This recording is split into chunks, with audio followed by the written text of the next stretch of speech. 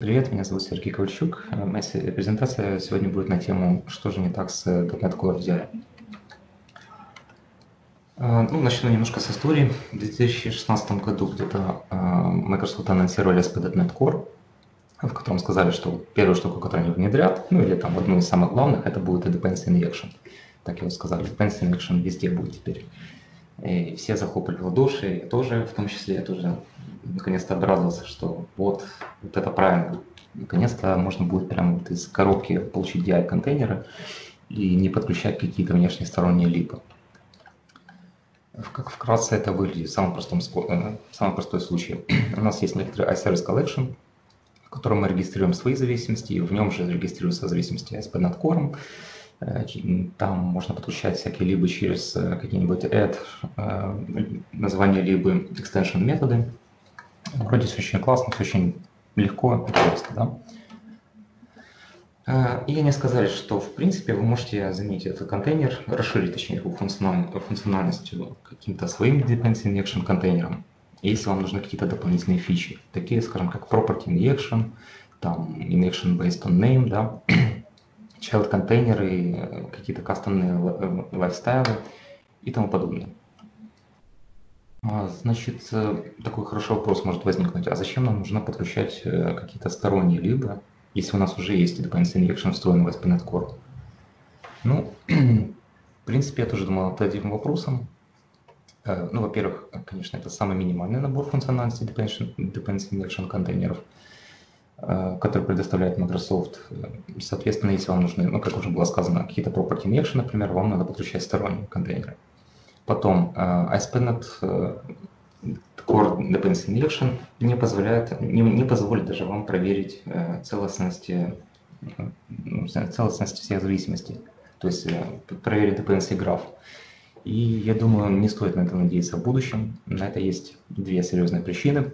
Первое это в том, что Э, в текущей имплементации в Service Collection вы можете добавлять э, делегаты э, фабрики, да, то есть подсовывать лямбду, которая там вам будет создавать ну, какой-то объект нужный.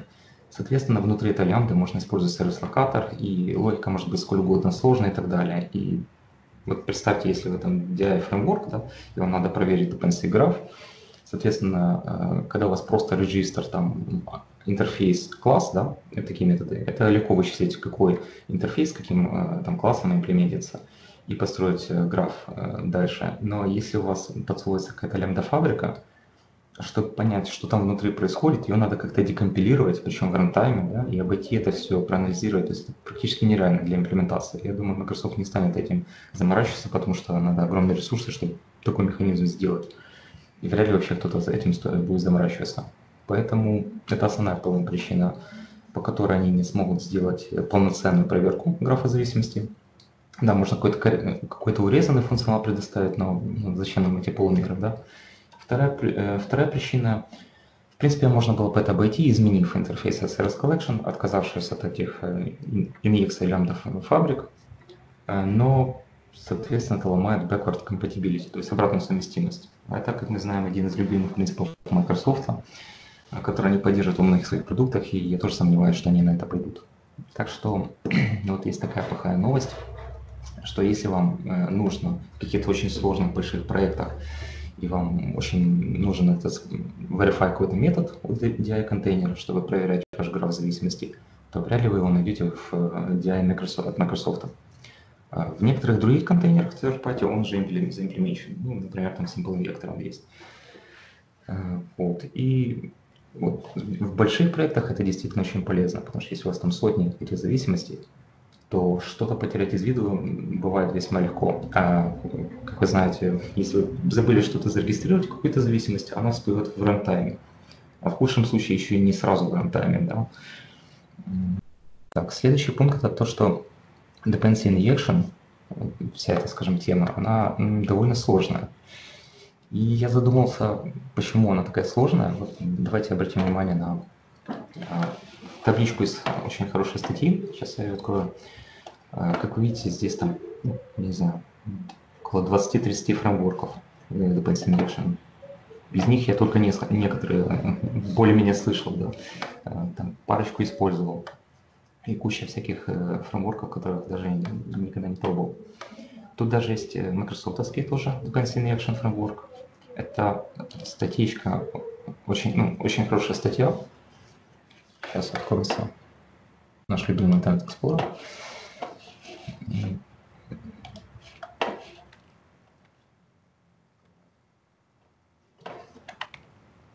Статья, в которой проводится бенчмарк всех этих контейнеров, э, контейнеров, сравнение по производительности. Что там надо вот бит, сори. Да.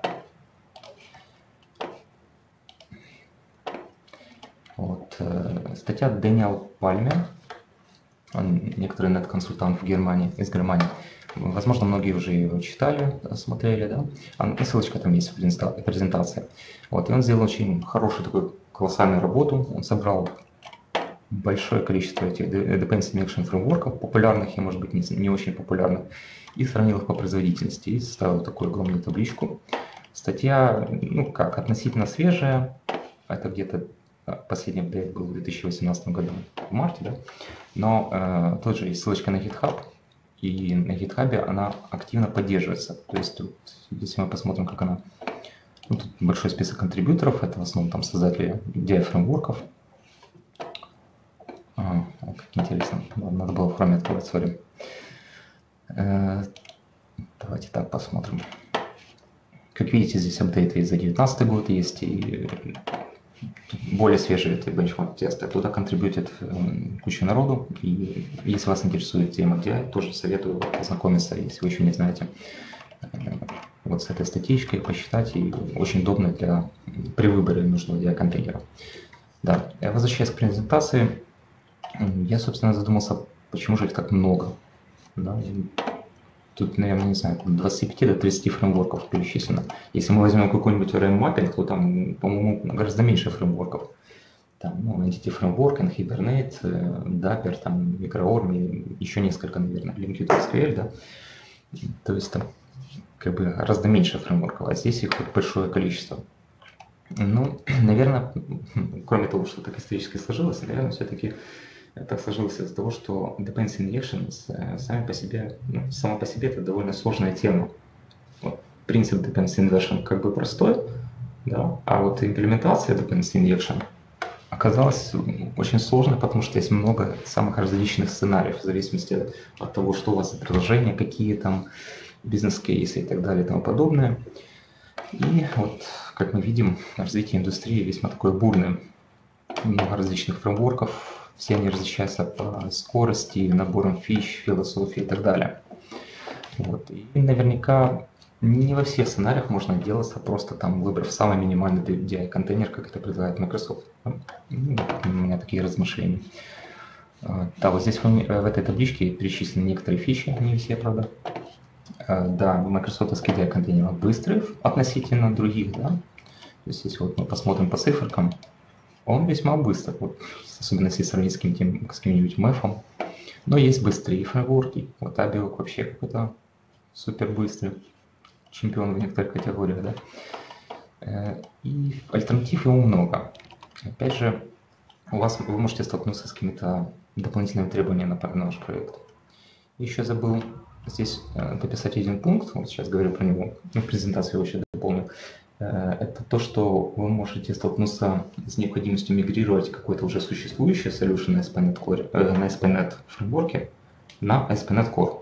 Ну, и, допустим, в этом большом каком-то вашем проекте, у которого несколько лет, уже может заюзан, быть заюзан какой-нибудь автофак или Inject, или SimpleNect, или еще какой-нибудь контейнер. А мигрировать на, ASP, на ASP.NET Core ZI, ну, вы можете столкнуться с тем, что банально ASP.NET Core ZI не не позволит вам этого сделать, потому что нет, нет каких-нибудь фич, которые активно используются на том проекте. Вот, поэтому есть все-таки ситуации, когда нам действительно нужно подключать э, сторонние DI-контейнеры. Э, Microsoft говорят, что это в принципе сделать легко. Вот даже пример приводится, это факом типа берете в configure services, э, на service collection ваш добавляете какие-то сервисы, которые там необходимы, или какие-то фреймворки, либо неважно. Потом вот пример с автофаком, да, создаете контейнер builder, там регистрируете дефолтные модули, делаете populate этого сервиса, который, то есть это, кажется, crossfire называется, когда типа э, передаете этому контейнеру автофаковскому э, контейнер в зависимости от э, неткора, ASP.NET, то есть. И потом возвращаете Autofac Service Provider, который имплементит этот iService Provider. Да? Вроде бы все просто. Ну, как вы понимаете, есть нюансы. И сейчас мы их разберем. Вот статья примерно в тех же датах, а даже два дня после того анонса, статья от создателя автофака, пример, который мы только что видели. И в которой они говорят, вот немножко пафосно звучит, что это где-то вырезка из середины статьи. Наконец-то мы были повержены конформинг контейнерам, которые заинтродюсили в ASP.NET Core. И дальше есть. Дальше там в статье описывается подробно проблемы, с которыми столкнулись. Если вкратце, то там э, несоответствие, э, ну, они не поддерживают такое правило, что в каком порядке регистрируются зависимости, в таком они отдаются. Это Microsoft такое как бы требует, а автофак такое не может сделать. Там можете почитать подробно. Ссылки тоже, все ссылки будут в конце э, презентации. Собственно, что такое конформинг контейнер? Тут я немножко остановлюсь на своей истории, как я вообще задумал эту э, презентацию делать. А дело было так, что в прошлом году у меня был такой шанс немножко поэкспериментировать э, с ASP.NET Core приложением, попробовать в него внедрить Simple Injector совместить. Ну, мы делали Proof of Concept для микросервиса, такой вот идеальный микросервис нашей небольшой, но сильной и мощной команде. И там можно было каждому предложить свой вариант этого Proof of Concept. Ребята пошли там стандартным путем, Visual Studio, да, там все, все по гайдам, ну или там кто как видел. Я решил немножко отойти в сторону, поэкспериментировать там с Visual Studio Code, э, сделать, например, solution и заодно и внедрить Simple Injector. Ну, я его там уже использовал на предыдущих проектах, э, мне нравится это, почему бы не попробовать. Ну, где-то после, там, не знаю, трех ударов швабры, граблей по голове, я понял, что что-то не так. И начал копать э, на эту тему в интернете. Наткнулся на статью Стивен Ван Дорсон, если я правильно произношу его фамилию. Это создатель Simple Injector. Статья звучит примерно как и тема доклада, что же не так с SPNet Core DI абстракцией. Статья интересная, советую ознакомиться. Он там подробно расписывает, с какими проблемами столкнулись Simple инъекторы, создатели этого, этого DI-контейнера. В этой же статье есть ссылочка на статью от Марка Симона. Многие его, наверное, знают, по, ну, потому что он автор книги Dependency, Dependency Injection in .NET. .NET Framework, точнее. Э, книга популярная весьма, такой бестселлер узкой круга, скажем. И это уже статья, в которой Марк Симон еще в 2014 году да, то есть за два года до анонса NetCore первого, он описал такой антипаттерн conforming контейнер. Там привел кучу причин, почему он считает его антипаттерном. Э, эти два автора, кстати, они в этом году выпускают книгу Dependency in Action, Principles, Practices and Patterns. Э, если Марк Симон выпустил Dependency in Action in .NET Framework, то они теперь оба в соавторстве выпускают, я так понимаю, более расширенную тему. Ну, так, на правах немножко рекламы, не знаю, но мне за это не платили, если что. Э, что же такое конформент контейнер? Марксизм, ну если вкратце, вот как я это понял, формула простая. Вот мы берем какой-то сервис-локатор, минимальный вот сервис-локатор интерфейс, который предоставляет фреймворк приложению, которое на нем основано. Э, добавляем сюда адаптеры к third-party либо типа там адаптеры, переходники к автофаку, там, к Simple Injector и так далее. И получаем конформент контейнер. Что же, ну, какие недостатки этого конформного контейнера, почему он антипаттерн? Марк Симен там привел много причин. Этот вы, выписал некоторые самые важные, на мой взгляд, и, и те, что встречались в статье Стивена Ван Дорсона. А, значит, первое, это конформент контейнер – он, скажем так, как-то pulls in the direction, то есть заставляет двигаться в сторону минимального общего знаменателя. Об этом мы еще поговорим немножко ниже. А, также он э, стопорит инновации в, в DI индустрии, назовем так. Об этом тоже мы еще поговорим чуть ниже. Он подталкивает новичков использовать сервис-локатор антиапатра. Я не очень сначала понял этот аргумент, но потом порывшись в исходниках Microsoft ASP.NET Core, кажется, понимаю, о чем он говорит, также ниже это расскажу. Э, дальше это делает более сложным избегать тебя контейнер. Ну, этот аргумент, честно говоря, мне кажется спорным немножко, потому что я слабо себе представляю, как кто-то может меня заставить использовать DI-контейнер, если я в любом месте могу сделать э, new класс. То есть, я, честно говоря, я этот аргумент не очень понял. Если кто читал статьи и понимает, о чем речь, you're welcome, как говорится. Э, мне тоже было бы интересно разобрать. А, потом это интродюсит э, от зависимости. Ну, тут скорее имеется в виду, что э, если вы подключаете какие-нибудь просто third-party либо в свое приложение, например, там Fluent валидаторы, автомаперы и так далее, там подобное, там entity фреймворки и прочее, прочее, у вас там куча этих либ подключена, они, конечно, ну, будут зависеть от этого Microsoft Extensions, да, э, от этого DI-контейнера. И, соответственно, там может быть от зависимости, потому что там одни либо требуют одну версию DI контейнера, другие другую, а, соответственно, контейнер у вас в application идут только один. Э, и последнее, ну, скажем, последнее в этом списке, но не последняя в статье Марка Симона, но там больше аргументов, это то, что адаптеры поддерживаются разными контрибьюторами, и, соответственно, адаптеры могут быть разного качества. Во-первых, это э, как бы недостаток, э, потому что некоторые адаптеры могут не успевать за э, эволюцией самого майкрософтовского DI, ну, конформы контейнера, давайте в общем случае. И, соответственно, там выпустили новую версию конформы контейнера. Какие-то контрибьюторы успели выпустить свои адаптеры, какие-то там, не знаю, где-то отдыхали на Канарах или не успели там обновить. Соответственно, разные фреймворки будут по-разному его поддерживать. Ну, логично, да, естественно, если у нас есть какие-то адаптеры.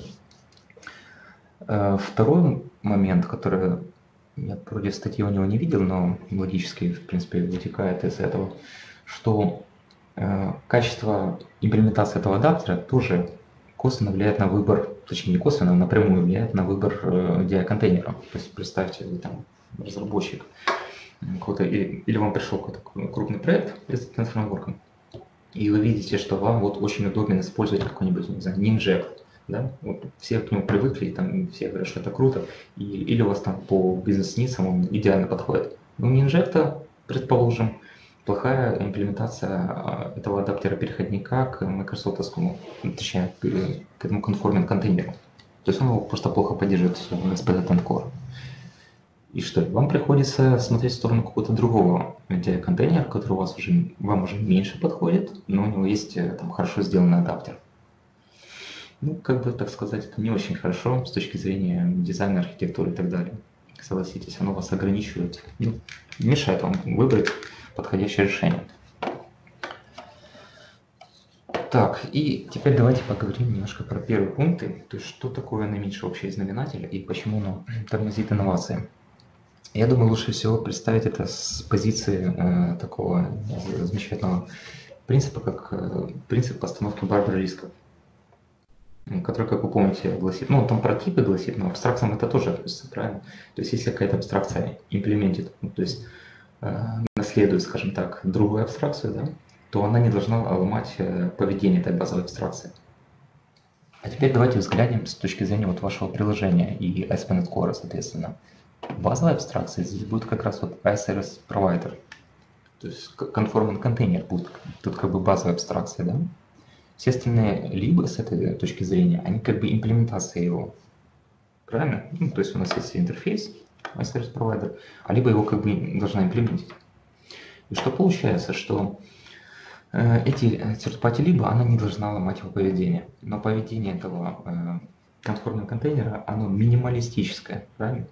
То есть вот это, что называется, движение в сторону наименьшего общего знаменателя. То есть наименьшее поведение, оно вот, причем, которое декларируется этим конформ, конформным контейнером, который требуется им, оно считается вот правильным, да, и, э, а как мы видели, лип очень много, и у всех у них уже сложившаяся своя история, своя философия и свои нюансы поведения, да. И вот им сложно как бы э, даже вот этот вот минимальный интерфейс зачастую бывает сложно заимплементить. и у них возникают различные проблемы.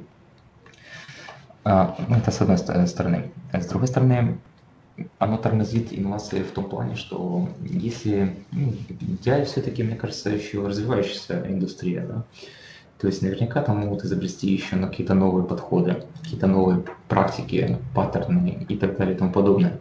Соответственно, с ними надо как-то экспериментировать и предлагать решения.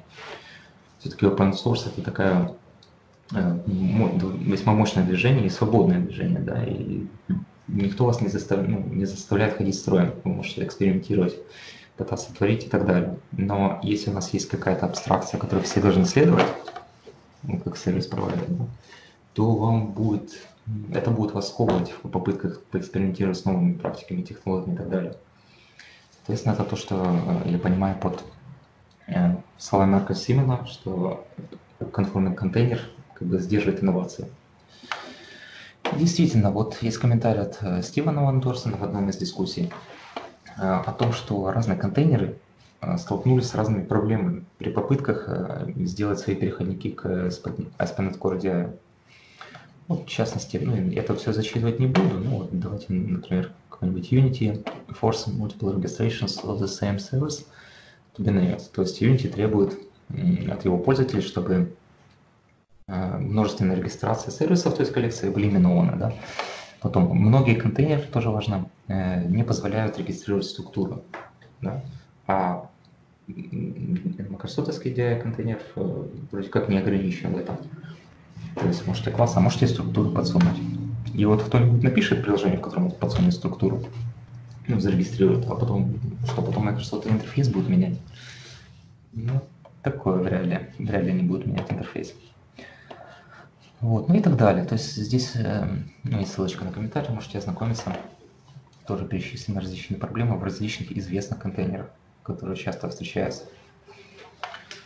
Это как пример того, что ну, можно сказать, что вот этот iService провайдер, то есть конформный контейнер, выступает таким бутылочным горлышком для DI индустрии в целом. Да? Из-за того, что он требует определенное поведение, и причем вот определенное минимальное поведение. Плюс из вашего application вы, если вы чисто вот используете эту прослойку, конформный э, контейнер, то у вас вам дает какой-то минимальный функционал. Да, и внутри э, вы не можете использовать какие-то э, дополнительные фичи в third контейнеров. Вам надо обращаться к ним напрямую, а не через эту абстракцию. Ну, как видим, это, по-моему, не очень правильный дизайн. Вообще, как бы сводить уже существующее решение, причем самое разношерстное – которые не очень подходят а, для того, чтобы для них создать какую-то базовую абстракцию и делать для них все, все равно вводить какую-то базовую абстракцию. Ну, Microsoft попробовали. Как бы с, оно выглядит вроде бы хорошо, да, мы сводим это какой-то, вот есть минимальный набор функциональности, но на практике оказалось, что это не очень хорошо. Так, идем дальше. А, есть еще такой интересный момент с ASP.NET Core DI. Вы можете заинъектить, заинъектить сервис-локатор, то есть этот iService провайдер, и получить через него, соответственно, доступ ко всему регистрации, ну, которому он дает. Э, здесь в примере, ну, это можно еще упростить, да, а логер серверов прям в э, конструктор контроллера впихнуть и писать в логи сервера всякую фигню. Э, Причем это вырезка из примера, который я сгенерировал так, то есть .NET Core, там new ASP.NET приложение по шаблону, а потом просто вставил этот, ну, написал вот этот код в конструкторе. То есть это то, что вам доступно прямо сейчас, если вы сгенерите. Можете поэкспериментировать. Я надеюсь, мне не надо объяснять, почему сервис локатор это плохо. Да? Ну, если что, там у Марка Симена тоже есть статья, почему это плохо спойлер там, в двух словах, потому что он размывает контракт класса и делает его неочевидным. Да? Э, также он э, нарушает инкапсуляцию в своем роде. Плюс там еще доп дополнительные security issue, issue появляется, дыры в безопасности даже могут быть и так далее. Вот. И что еще интересно, вот теперь ну, я понял, что Марк Симон говорил про э, то, что конформный контейнер двигает новичков в сторону использования сервис-локатора антипаттерна. Ну, пуш всегда двигает. Если мы заглянем в, в код ASP.NET самого, ну это где-то, не знаю, там трех, двухнедельной свежести мастер, да, Здесь есть куча э, iService провайдеров использования, как мы видим. Например, на строке 75 мы видим прямое использование сервис внутрянках где-то. Там еще куча мест, где этот сервис провайдер просто передается вниз по, по цепочке. То есть, представьте ситуацию у вас там на проекте, да? приходит junior, там юзает сервис локатор, вы к нему подходите, там говорите, не надо сервис локатор, это плохо. Он говорит, типа, почему плохо? Вот, смотрите, Microsoft использует я у них код, э, я читал код ASP.NET Core, а вот они используют, почему это плохо. Ну и доказать и потом, почему это плохо. Такой забавный нюанс. Дальше. Э, следует, вот тоже, я это вроде не видел в статьях про конформинг контейнер, но, может быть, у Стивена Вандорсона есть Э, но следует быть осторожным с third-party либами, имеется в виду, там, например, автомапперы, там, флюент-валидаторы и так далее, и так далее. Те, которые, те либо, которые предоставляют свою, так сказать, поддержку DI контейнеров. Поддержку DI, да, на Microsoft. В чем недостаток? Вот представьте, у вас есть какой-то э, какой-то либо вы подключаете, там, и он представляет свой метод add, там, название либо вы можете вызвать его на services.edtlib, да, и он сам сделает регистрацию. Удобно? Очень удобно. Круто? Ну, как сказать, тут есть некоторые недостатки такого подхода. Во-первых, это такой серый ящик, потому что оно прячет от вас логику регистрации, и, соответственно, оно прячет от вас интеграционный issues, то есть всякие возможные проблемы с интеграцией этой либо с другими либами, которые вы используете в приложении, или с, с самим ASP.NET Core. Да? То есть, если у вас возникнет какая-то ситуация, что вроде сделали все по примеру, а потом что-то отвалилось, в частности, у нас там на том проекте был пример, когда на стендапе коллега говорит, что вот он э, вроде как из примера взял Swagger, взял там Fluent Validation, э, там есть типа связка Swagger и Fluent Validation, но не работает. А почему не работает? А, вы так не скажете. Надо копать в код. То есть вам все равно придется залезть в эту либу, там посмотреть ее сорсы, либо зайти где-то в интернете поискать э, на Stack Overflow, там еще какие-то статьи. То есть все равно придется с этим разбираться. Ну как, я не гарантирую, что вам придется с этим разбираться, естественно. Но вероятность такая возрастает с количеством либ, которые вы подключаете. И, и также ну, с количеством апдейтов этих либ, которые вы делаете. То есть каждый раз, когда вы апдейтите какую-то либу, вам надо проверить, что она правильно зарегистрирована. Это как бы естественно, да. Но тем не менее, когда вы делаете ручную регистрацию, соответственно, вы знаете, как вы все это регистрируете, и все хорошо. И еще момент по этому, э, по этому пункту, что Вроде как это удобно, когда вы одним методом регистрируете либо. То есть вам не надо разбираться, как ее надо регистрировать. Но с другой стороны, когда вы подключаете какую-то библиотеку, вам очень желательно разобраться, как она устроена, да, и как она работает. Все равно придется с ней работать, да, то есть все равно там могут возникнуть какие-то баги, поэтому желательно, конечно, разбираться, разобраться, как она там внутри организована хоть на каком-то более-менее архитектурном уровне. Э, потому что вот эти вот методы, extension методы, типа подключить либу, которые мы видим на странице документации, да, оно выглядит круто, но на практике уже не раз с этим сталкивался, все равно с этим будут какие-то проблемки. Потом, ну, естественно, это вендерлог на Microsoft DI. Если вам надо поменять third-party DI, там подключить другой, там, Simple Injector, к примеру, тоже то, соответственно, вам надо этот метод убирать и писать, все равно делать ручками. Это менее гибко, чем ручная регистрация по понятным причинам, потому что в случае ручной регистрации вы можете настроить э, какой-то свой сценарий, подтюнить, да, от чего-то отказаться, что-то наоборот добавить, какие-то регистрации, сделать свою какую-то логику регистрации. Ну, а если вы используете extension метод, вы ограничены тем, что он делает. Причем вы не всегда знаете даже, что он делает.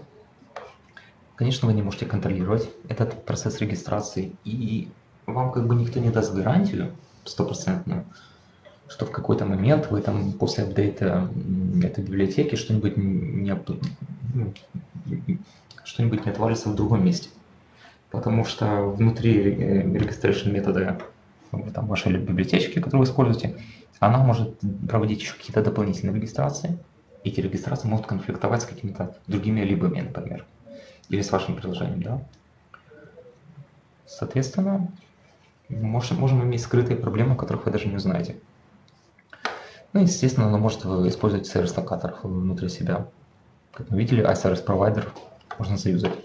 Плюсы этого подхода, то есть регистрация либо через extension, которые они предоставляют, ну да, это, это удобно для прототипщиков. На коленках там себе собрал приложение, быстренько его показал, все очень быстро, не надо его ручками подключать. Показал, кому надо, удалил там и написал по-хорошему, как там в идеальном случае. На практике же, знаю, что часто прототипы прям берутся из-за основы. Э, вот, ну и то, хорошо, если оно у вас сразу все заработает. Если уже не раз сделали эти прототипы, да, и отработали эту технологию. А когда вы подключаете новую либо, все равно есть шанс, конечно, что даже такой прототипчик у вас сразу же не взлетит и придется с чем-то разбираться. И давайте рассмотрим пример вот Fluent Validator.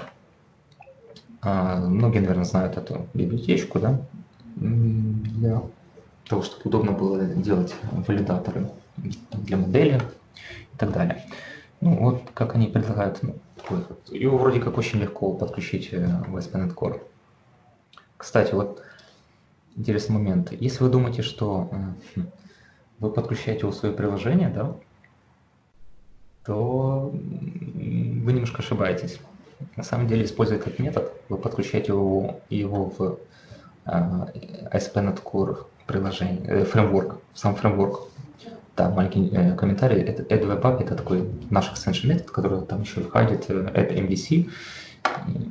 И, соответственно, там ну, вроде такого метода еще не было в ASP.NET Core. Вот, то есть получается, что вы расширяете свой фреймворк, да?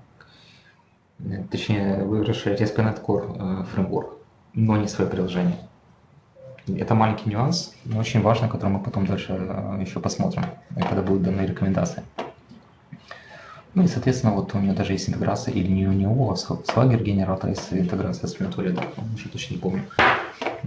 Вот этот пример, ну, у меня, э, по-моему, немножко по-своему сделан, да, вот там у ребят он был немножко по-своему делали. Э, ну вот, мы пытались соединить валидатор, Fluent Validator с, со Swagger геном, и у одного из коллеги оно там сходу, сразу так насколько не получилось. То есть там пришлось что-то разбираться. А теперь давайте посмотрим на код внутри, э, ну вот это Register Services, это метод, который используется внутри AddFluent Validation. Так, то есть AddFluent Validation, там делаются какие-то степы, и одним из этих степов есть Register Services. Очень, по-моему, такой хороший пример э, ну, тех недостатков, которые я упоминал. Как мы видим, здесь сложная логика, нетривиальная. Есть какие-то кондишены.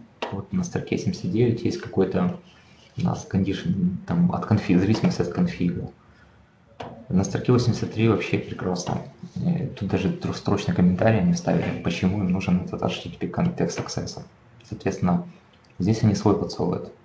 Но представьте, что если, допустим, сначала этот френд валидатор добавляете, регистрируйте, а за ним регистрируйте какой-то другой либу, который тоже посылает только свой HTTP контекст аксесса, и там какая-нибудь своя логика или какие-то свои нюансы поведения, которые могут ну, ломать работу флент-валидатора.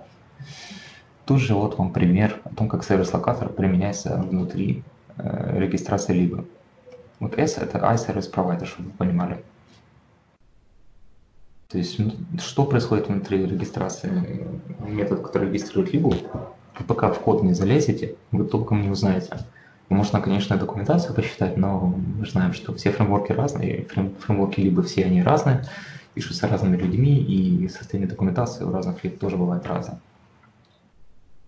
Соответственно, как вы видите, разобраться, что здесь происходит, не так уж и просто.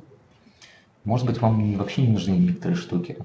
Может быть, вам эта зависимость от MVC конфига там нафиг не надо. Но она там где-то в другом месте есть. По-моему, не в этом методе, а более верхнем. Там есть какие-то привязки к MVC конфигу. А, вот она, кажется, вот конфиг. А, это френд валидатор конфиг. Вот.